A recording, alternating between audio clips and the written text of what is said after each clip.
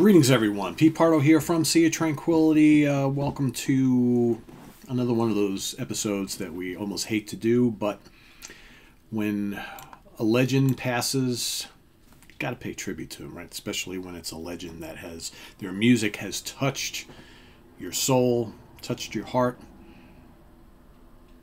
Wayne Shorter, the great Wayne Shorter leaves us today, March 2nd, 2023, at the age of 89. Wayne Shorter, born August 25th, 1933, in Newark, New Jersey. Uh, he's been living in Los Angeles, California for a number of years. That's where he passes away. No real news of uh, why he passed, but at 89 years, he lived a long, long life. And man, this guy has played with some of the greats and recorded some of the most amazing saxophone you'll ever want to hear. Just one of those guys that uh, not only was he a great player, but he was a great songwriter and such an integral part of so many great jazz bands over the years. Right? Of course, you know he and I. I couldn't pull every single CD of everything that I have from Wayne Shorter. That would be ridiculous. I have so much. So I just I did pull some things here that I do want to kind of show off. But uh, you know, kind of got his big I guess, start or he got most of his notoriety early on with Art Blakey and the Jazz Messengers on some, you know, seminal albums like A Night in Tunisia, you know, for the Blue Note label, as well as Like Someone in Love, right? The Big Beat. Bunch of albums with Art Blakey. Art Blakey, one of the most amazing drummers and band leaders ever. Uh, so the Jazz Messengers in the late 50s, early 60s, kind of where he got his start, but really where I think the legend that is Wayne Shorter really came to prominence while playing with the Miles Davis group in the 60s. And we're talking about uh, stuff like, you know, Miles Smiles, of course, this is the great band that, you know, Miles Davis and Wayne Shorter and Tony Williams and Ron Carter and Herbie Hancock, you know, that's an amazing band right there. So you got, you know, Miles Smiles, they put together a string of great albums in the 60s. ESP, Miles in the Sky, Sorcerer, and that, that lyrical melodic sax, whether it be soprano or tenor from Wayne, perfectly blended with the staccato burst of the trumpet from Miles Davis. You got uh, the Water Babies album, Filles de Kilimanjaro. I mean, there's others. Nefertiti. Of course, the great In a Silent Way. Right? Wayne Shorter contributed to all these albums. Um, and then, of course, you know, he's got a lot of great solo records. The All Seeing Eye. There's Mr. Shorter right there. And again, some of the lineups on some of these albums, you know, Freddie Hubbard on trumpet, Alan Shorter, James Spaulding, Herbie Hancock, Ron Carter, Joe Chambers, all sorts of people on play on these. Supernova, great album. The fantastic Juju. I think if you're going to get any Wayne Shorter solo album to start with, I would highly recommend Juju. This is absolutely terrific. Seminal, seminal album. Again, on the Blue Note label recorded uh, 1964 by Rudy Van Gelder, Wayne Shorter on tenor saxophone, McCoy Tyner on piano, Reggie Workman on bass, and Elvin Jones on drums. This is amazing, as is Speak No Evil. Basically, this basically the same lineup, except you got you got Freddie, you got Wayne, Herbie Hancock, Ron Carter, Elvin Jones. You know these two, mandatory, mandatory Wayne Shorter right there. If you're going to get any two, that's the best place to start. But probably the legend of Wayne Shorter really grew in the band Weather Report. Basically, he was co-leader with Josef Zawinul. Both, of course, spent time together in Miles Davis's band and then moved on to put together the band Weather Report.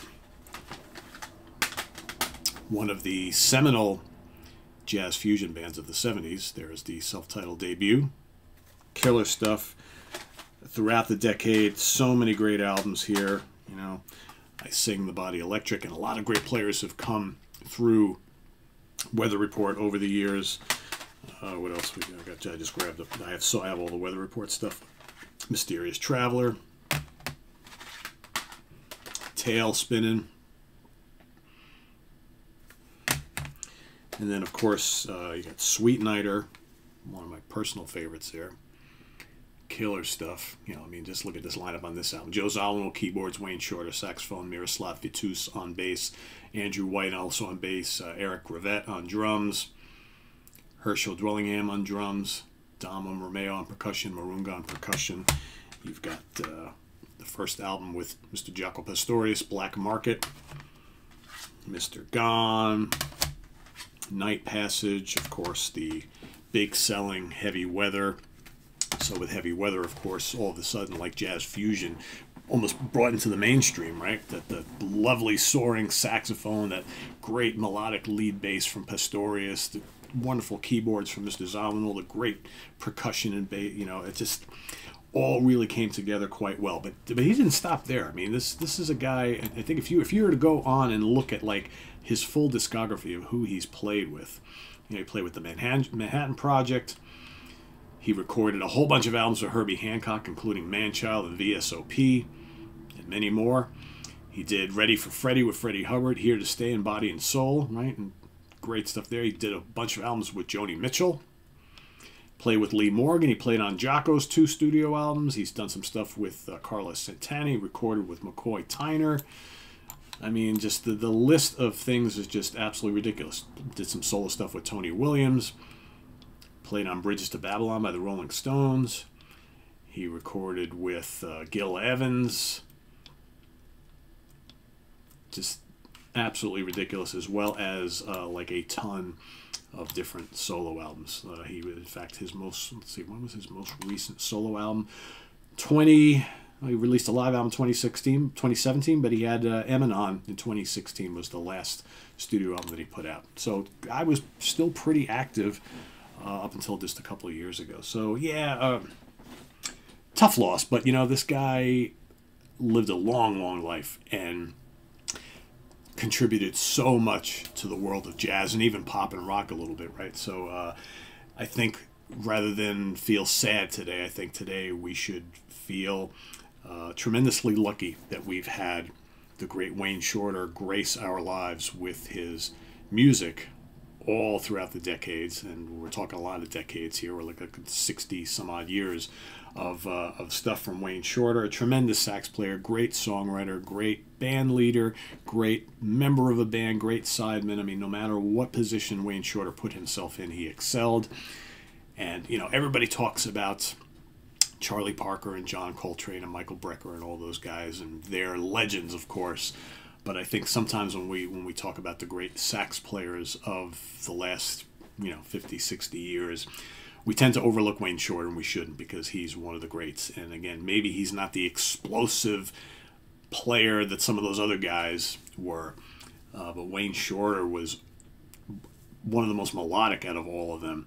And uh, he could write a great song and a great soloist, and uh, yeah, one of the all time great jazz musicians and songwriters for sure. So, yes, so Wayne Shorter leaves us today at the age of 89 go out and listen to some of these classic Art Blakey and the Jazz Messengers, classic Weather Report, classic Miles Davis, even the Wayne Shorter solo stuff. It's all great. Herbie Hancock, uh, Wayne Shorter is on all so many of these albums, and I don't know what the, the grand total of albums he's appeared on, but it's it's up there big time. So uh, Wayne Shorter, we will miss you, but we've got so much music that we can continue listening to in all of our lives that you have generously graced us with all these years. So uh, may he rest in peace, Wayne Shorter. He's up there once again playing with Miles because they deserve to be playing together. And uh, yes, visit us on the web at www.seatranquility.org. We're on Facebook, we're on YouTube all together all the damn time. Today is all about Wayne Shorter. Thanks for watching, everybody. We'll miss him, but he was one of the greats, and let's celebrate his life and his music. So thanks for watching. We'll see you real soon here on the channel. Bye bye.